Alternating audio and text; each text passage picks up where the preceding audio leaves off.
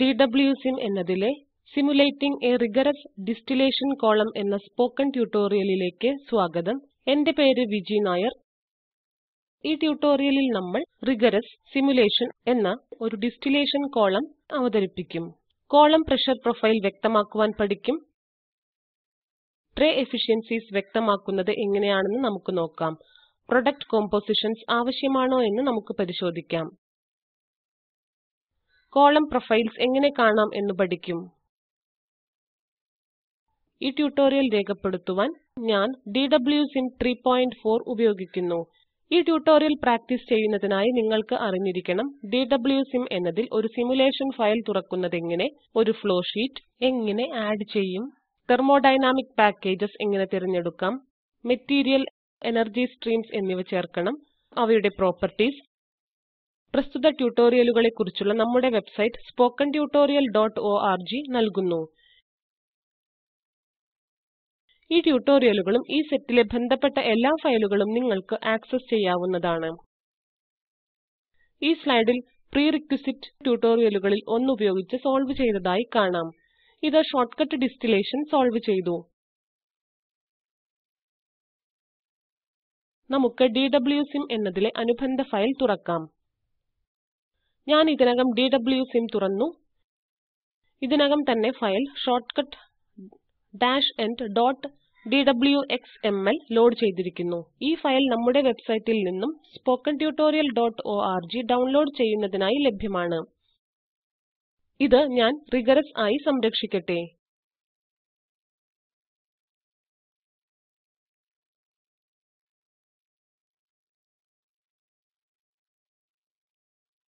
file name ഇപ്പോൾ rigorous ആയി മാറിയത് നമുക്ക് കാണാം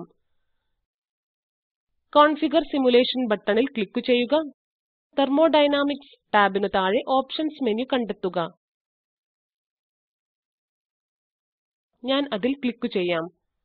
അതിനു മുകളിൽ വലതുവശത്തുള്ള യൂണിറ്റ് സിസ്റ്റംസ് എന്ന ഓപ്ഷൻ ലഭിക്കും അത് ക്ലിക്ക് ചെയ്യാം വലതുവശത്തുള്ള കോളത്തിലെ പ്രഷർ ലൊക്കേറ്റ് ചെയ്യുക ഇത് കാണുന്നത് ഞാൻ ഇവിടെ കൊണ്ടുവരട്ടെ അറ്റ്മോസ്ഫിയർ എന്നതിലേക്ക് യൂണിറ്റുകൾ മാറ്റുക അതുപോലെ delta P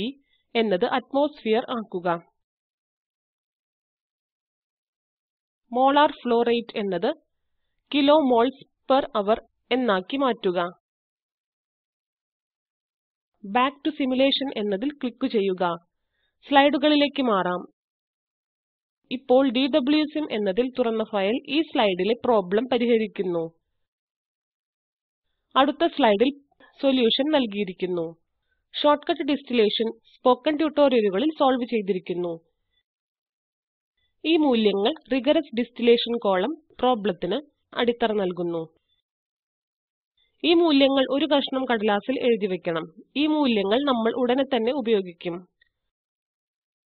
rigorous distillation column ഉപയോഗിച്ച് ഷോർട്ട്കട്ട് കോളം സ്ഥാപിച്ച് നമുക്ക് തുടങ്ങാം സിമുലേഷൻ എന്നതിലേക്ക് തിരിച്ചു പോകുവാൻ എന്നെ അനുവദിക്കുക ഷോർട്ട്കട്ട് കോളം ഡിലീറ്റ് എന്നിവയിൽ റൈറ്റ് ക്ലിക്ക് ചെയ്യുക ഉത്തരം യെസ് എന്നത് പ്രോംപ്റ്റിൽ ഒബ്ജക്റ്റ് പാലറ്റിൽ ഡിസ്റ്റിലേഷൻ കോളം കണ്ടുപിടിക്കുക ഷോർട്ട്കട്ട് ഡിസ്റ്റിലേഷൻ കോളം അതിൽ ക്ലിക്ക് ചെയ്യുക നിങ്ങൾ അതിന്റെ സ്ഥാനം ക്രമീകരിക്കേണ്ടി വരും കോളം ക്ലിക്ക് ചെയ്ത് അത് തിരഞ്ഞെടുക്കുക സെലക്ടഡ് ഒബ്ജക്റ്റ് വിൻഡോയിലേക്ക് പോകുക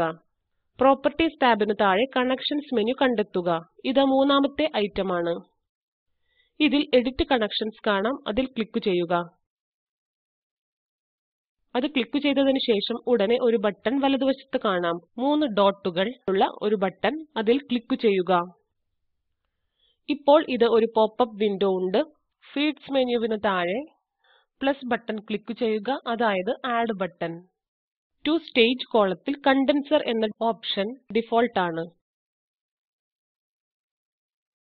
ഇവിടെ ഫീഡ് എൻ്റർ ചെയ്യുന്ന ഘട്ടത്തിൽ നമുക്ക് വ്യക്തമാക്കണം കണ്ടൻസർ എന്നതിന് സമീപമുള്ള ആരോ ക്ലിക്ക് ചെയ്യുക സിം എന്നതിന്റെ പതിപ്പിൽ രണ്ട് പ്രാവശ്യം ക്ലിക്ക് ചെയ്യുന്നു സ്റ്റേജസ് നമുക്ക് കാണാം സ്റ്റേജസ് തിരഞ്ഞെടുക്കുക ഡിസ്റ്റിലേഷൻ കോളം എൻ്റർ ചെയ്ത് ഫീഡ് ഉണ്ടാക്കുക ഇവിടെ നമുക്ക് സ്റ്റേജ് 6 തിരഞ്ഞെടുക്കുക ഇപ്പോൾ നമ്മൾ മെറ്റീരിയൽ സ്ട്രീം തിരഞ്ഞെടുക്കും സ്ട്രീം മെനുവിന് താഴെയുള്ള ഡൗൺ ആരോ ക്ലിക്ക് ചെയ്യുക ഇത് രണ്ട് തവണയും ക്ലിക്ക് ചെയ്യേണ്ടതായി വരും ഫീഡ് ക്ലിക്ക് ചെയ്യുക ഫീഡ് സ്റ്റേജ് 6 എന്നതിലേക്ക് പോകണമെന്ന പെയറിംഗ് നമ്മൾ ചെയ്തു കഴിഞ്ഞു ഫ്ലോ ഷീറ്റിൽ യഥാർത്ഥത്തിൽ കണക്ഷൻ പിന്നീട് ചെയ്യും ഷോർട്ട്കട്ട് ഡിസ്റ്റിലേഷൻ കോളം നമുക്ക് കിട്ടിയ സൊല്യൂഷൻ അനുസരിച്ചാണ് ഇത് സ്ലൈഡിൽ കാണാം ഒപ്റ്റിമൽ ഫീഡ് ലൊക്കേഷൻ 6 എന്നതാണ് നമുക്ക് DWSIM എന്നതിലേക്ക് തിരിച്ചു പോകാം സമാനമായ രീതിയിൽ പ്രോഡക്റ്റ് സ്ട്രീംസ് ഉണ്ടായിരിക്കണം കണ്ടൻസർ ഡിസ്റ്റിലേറ്റ് പെയർ ആക്കുക റീബോയിലർ ബോട്ടംസ് എന്നിവയെ പെയർ ആക്കുക ഇപ്പോൾ ഹീറ്റ് ഡ്യൂട്ടീസ് എന്നത് റീബോയിലർ കണ്ടൻസർ എന്നിവയുമായി ബന്ധിപ്പിക്കും കണ്ടൻസർ സി ഡ്യൂട്ടി ആയും ആർ ഡ്യൂട്ടി റീബോയിലർ ആയും പെയർ ചെയ്യുക ഇപ്പോൾ നമ്മൾ എല്ലാ ജോഡികളും കണക്ഷനുകളായി പരിവർത്തനം ചെയ്യും ഫീഡ് കണ്ടൻസർ റീബോയിലർ ഇവയിലേതെങ്കിലും ക്ലിക്ക് ചെയ്യുക ജോഡിയാക്കിക്കൊണ്ട് സൂചിപ്പിച്ച കണക്ഷനുകൾ ഇത് പൂർത്തിയാക്കുന്നു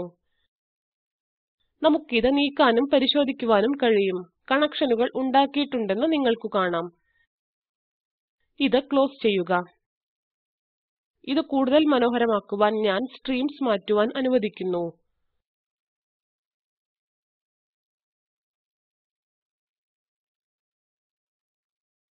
കോളം ക്ലിക്ക് ചെയ്ത് തിരഞ്ഞെടുക്കുക പ്രോപ്പർട്ടീസ് ടാബിൽ കോളം പ്രോപ്പർട്ടീസ് എന്ന സെക്ഷൻ കണ്ടെത്തുക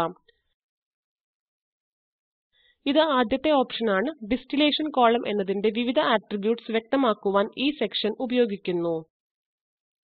ഈ വിഭാഗത്തിൽ ആദ്യത്തെ option condenser pressure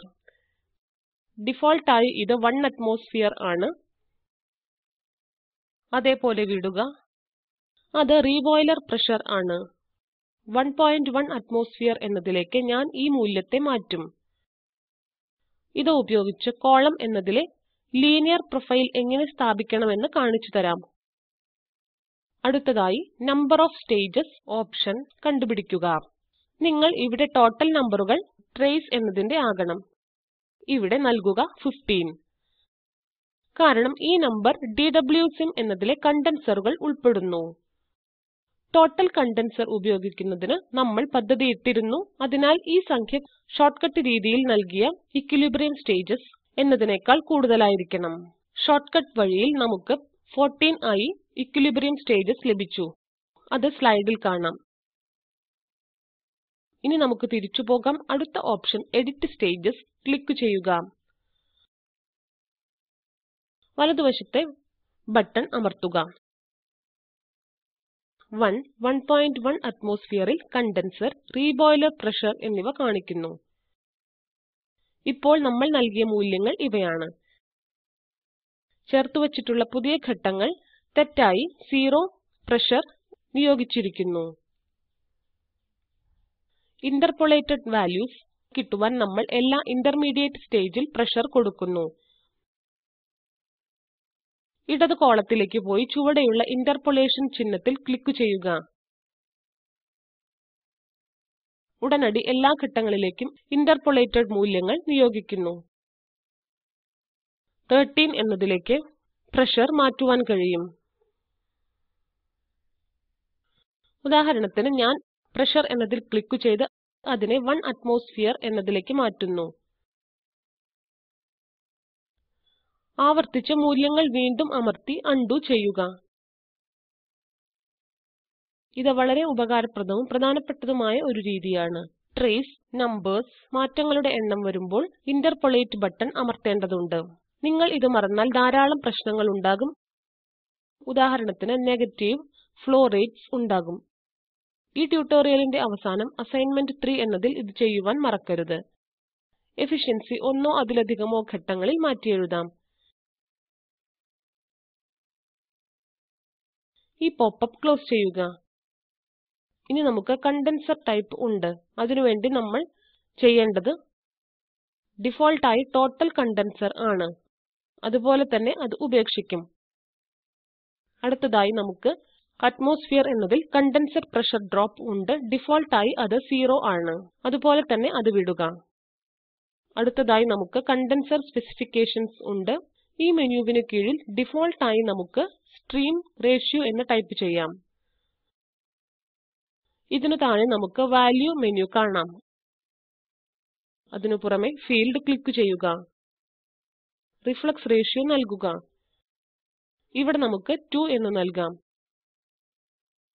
shortcut distillation എന്നതിലെ മിനിമം റിഫ്ലക്സ് റേഷ്യോ 1.47 ആയിരുന്നു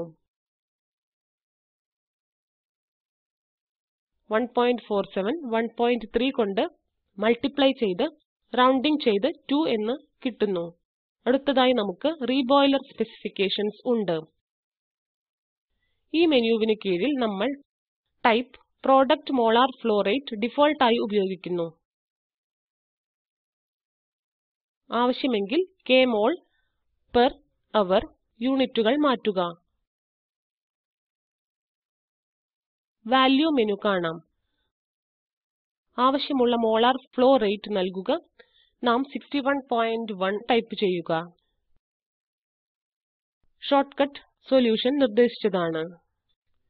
അത് സ്ലൈഡിൽ കാണാം ഇനി നമുക്ക് സൊല്യൂഷൻ മെത്തേഡ് തിരഞ്ഞെടുക്കാം പ്രോപ്പർട്ടീസ് ടാബിൽ നിന്ന് സോൾവിംഗ് മെത്തേഡ് കണ്ടുപിടിക്കുക ഇത് ഐറ്റം 7 ആണ് അതിനു പുറമെ ഫീൽഡ് ക്ലിക്ക് ചെയ്യുക വലതുവശത്തുള്ള ആരോ അടയാളത്തിൽ ക്ലിക്ക് ചെയ്യുക സോൾവിംഗ് മെത്തേഡ് നമുക്ക് കാണാം വാങ് ഹെൻകി ബബിൾ പോയിന്റ് തിരഞ്ഞെടുക്കുക ഇപ്പോൾ നമ്മൾ സിമുലേഷൻ റൺ ചെയ്യും ഇത് ചെയ്യുന്നതിന് കാൽക്കുലേറ്റർ ഓപ്ഷനിലേക്ക് പോകുക പ്ലേ ബട്ടണിൽ ക്ലിക്ക് ചെയ്യുക റീകാൽക്കുലേറ്റ് ആൾ ബട്ടൺ അമർത്തുക കാൽക്കുലേഷൻ പൂർത്തിയാകുമ്പോൾ പ്രോഡക്റ്റ് കോമ്പോസിഷൻസ് ക്ലിക്ക് ചെയ്യുക സ്ട്രീം തിരഞ്ഞെടുക്കുക ഉദാഹരണത്തിന് ഡിസ്റ്റിലേറ്റ് മോളാർ കോമ്പോസിഷൻസ് ഓപ്ഷനിൽ നിന്നും പ്രോഡക്റ്റ് കോമ്പോസിഷൻസ് എങ്ങനെ പരിശോധിക്കുമെന്ന് നിങ്ങൾക്കറിയാം ഇനി ഡിസ്റ്റിലേഷൻ കോളം ക്ലിക്ക് ചെയ്യുക പ്രോപ്പർട്ടീസ് ടാബിന് താഴെയുള്ള റിസൾട്ട്സ് മെനു ലൊക്കേറ്റ് ചെയ്യുക അത് ഐറ്റം 8 ആണ് ഇത് condenser duty reboiler duty column profiles തുടങ്ങി എല്ലാ റിസൾട്ടുകളും കാണിക്കുന്നു കോളം പ്രൊഫൈൽസ് കാണുന്നതിന് അതിൽ ക്ലിക്ക് ചെയ്യുക വലതുവശത്ത് കാണുന്ന ബട്ടൺ കാണാം അതിൽ ക്ലിക്ക് ചെയ്യുക ഇനി നമുക്ക് പോപ്പപ്പ് വിൻഡോ കാണാം നമുക്ക് ടെമ്പറേച്ചർ പിന്നെ പ്രഷർ പ്രൊഫൈൽസ് കാണാം flows profiles component flows component fractions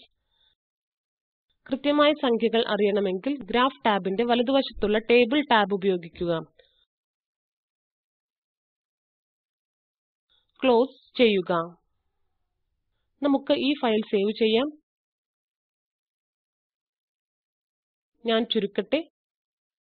rigorous distillation column എങ്ങനെ സിമുലേറ്റ് ചെയ്യാമെന്ന് നമ്മൾ മനസ്സിലാക്കി specified pressure profile tray efficiencies നൽകുന്നത് എവിടെയാണെന്ന് കണ്ടെത്തി കോളം പ്രൊഫൈൽസ് പരിശോധിക്കുക ഞാൻ ചില അസൈൻമെന്റുകൾ തരാം വൺ അറ്റ്മോസ്ഫിയർ നിരന്തരമായ കോളം പ്രഷർ കണക്കാക്കുവാൻ ഞാൻ വീണ്ടും ആവർത്തിക്കുക അതായത് reboiler pressure equals one atmosphere നിങ്ങളുടെ ഫലങ്ങളിൽ വലിയ മാറ്റങ്ങൾ കാണുന്നുണ്ടോ അടുത്തതായി constant pressure 1 atmosphere distillation column അനുകരിക്കുക അതായത് റീബോയിലർ പ്രഷർ 1 അറ്റ്മോസ്ഫിയർ ആണ് റിഫ്ലക്സ് റേഷ്യോ 2 എന്നതിനു മുകളിലാണെങ്കിൽ പ്യൂരിറ്റി മെച്ചപ്പെടുമോ യഥാർത്ഥ പ്യൂരിറ്റി അത്യാവശ്യമാണെങ്കിൽ നിങ്ങൾ ഉപയോഗിക്കേണ്ട റിഫ്ലക്സ് റേഷ്യോ ഭാവിയിലെ ട്യൂട്ടോറിയലുകളിൽ എളുപ്പത്തിൽ ചെയ്യുവാൻ സെൻസിറ്റിവിറ്റി അനാലിസിസ് എങ്ങനെ സഹായിക്കുമെന്ന് നമുക്ക് കാണാം അടുത്ത അസൈൻമെന്റിൽ നമ്മൾ 2 എന്നതിന്റെ റിഫ്ലക്സ് റേഷ്യോ എന്നതിലാണ് കോളം നിർമ്മിക്കുക ഒരു അറ്റ്മോസ്ഫിയർ കോളം പ്രഷർ നിലനിർത്തുക ട്രേസ് എന്നതിന്റെ എണ്ണം 1 ആയി വർദ്ധിപ്പിക്കുക അത് 15 മുതൽ 16 വരെ ട്രേസ് എന്നതിന്റെ എണ്ണം മാറ്റിയാൽ അത് ഇന്റർപോളേറ്റ് ഓപ്ഷൻ ഉപയോഗിക്കേണ്ടതുണ്ട് ഇത് മുൻപും സൂചിപ്പിച്ചിരുന്നു കൂടുതൽ ട്രേസ് എന്നത് പ്യൂരിറ്റി വർദ്ധിപ്പിച്ചിട്ടുണ്ടോ അടുത്ത അസൈൻമെന്റിൽ ഇനി പറയുന്ന റിലേഷൻ പരിശോധിക്കുക composition of vapour flow to the condenser equals distillate product composition ഈ ഇക്വേഷൻ സാറ്റിസ്ഫൈ ചെയ്യുന്നത് എങ്ങനെയാണെന്ന് വിശദീകരിക്കുക അടുത്ത അസൈൻമെന്റിൽ റീബോയിലറിന്റെ വേരിയബിളുകളുടെ കൺസിസ്റ്റൻസി പരിശോധിക്കുക ഈ ആവശ്യത്തിനായി റീബോയിലറിന്റെ കോമ്പോസിഷൻസ് ടെമ്പറേച്ചർ പ്രഷർ എന്നിവ ഉപയോഗിക്കുക സമാനമായ ഫ്ലാഷ് കാൽക്കുലേഷൻസ് ചെയ്യുക അവസാനത്തെ അസൈൻമെന്റിൽ പ്രോബ്ലം സോൾവ് ചെയ്ത് വ്യത്യസ്തമായ സോൾവിംഗ് മെത്തേഡ്സ് കാണാം റിസൾട്ട്സ് താരതമ്യം ചെയ്യുക കമ്പ്യൂട്ടേഷൻ സമയം താരതമ്യം ചെയ്യുക ഈ ട്യൂട്ടോറിയലിന്റെ അവസാന ഭാഗത്ത് എത്തിയിരിക്കുന്നു ഈ വീഡിയോ സ്പോക്കൺ ട്യൂട്ടോറിയൽ പ്രോജക്റ്റ് സംഗ്രഹിക്കുന്നു നിങ്ങൾക്ക് നല്ല ബാൻഡ്വിഡ്ത്ത് ഇല്ലെങ്കിൽ ഡൗൺലോഡ് ചെയ്ത് കാണാവുന്നതാണ് spoken tutorial team spoken tutorials ഉപയോഗിച്ച് വർക്ക്ഷോപ്പുകൾ നടത്തുന്നു സർട്ടിഫിക്കറ്റുകൾ നൽകുന്നു ഞങ്ങളെ ബന്ധപ്പെടുക ഈ സ്പോക്കൺ ട്യൂട്ടോറിയലിൽ നിങ്ങൾക്ക് ചോദ്യങ്ങളുണ്ടോ മിനിറ്റ് സെക്കൻഡ് എന്നിവിടങ്ങളിൽ നിങ്ങൾക്ക് ചോദ്യങ്ങളുണ്ട് നിങ്ങളുടെ ചോദ്യത്തെ ഹ്രസ്വമായി വിശദീകരിക്കുക ഫോസി ടീമിൽ നിന്ന് ആരെങ്കിലും ഉത്തരം പറയും ഈ സൈറ്റ് സന്ദർശിക്കുക പ്രശസ്തമായ പുസ്തകങ്ങളുടെ പരിഹരിക്കപ്പെട്ട ഉദാഹരണങ്ങളുടെ കോഡിംഗിനെ ഫോസി ടീം ഏകോപിപ്പിക്കുന്നു ഇത് ചെയ്യുന്നവർക്ക് പാരിതോഷികവും സർട്ടിഫിക്കറ്റും നൽകുന്നു കൂടുതൽ വിവരങ്ങൾക്ക് ദയവായി ഈ സൈറ്റ് സന്ദർശിക്കുക ഫോസി ടീം കൊമേഴ്ഷ്യൽ സിമുലേറ്റർ ലാബുകൾ ഡി ഡബ്ല്യു സിം എന്നതിലേക്ക് മൈഗ്രേറ്റ് ചെയ്യുവാൻ സഹായിക്കുന്നു ഇത് ചെയ്യുന്നവർക്ക് പാരിതോഷികവും സർട്ടിഫിക്കറ്റും നൽകുന്നു കൂടുതൽ വിവരങ്ങൾക്ക് ദയവായി ഈ സൈറ്റ് സന്ദർശിക്കുക സ്പോക്കൺ ട്യൂട്ടോറിയൽ സി എന്നീ പ്രോജക്റ്റുകൾക്ക് N M E I C T M H R D government of India എന്നിവർ സഹായം നൽകുന്നു പങ്കെടുത്തതിന് നന്ദി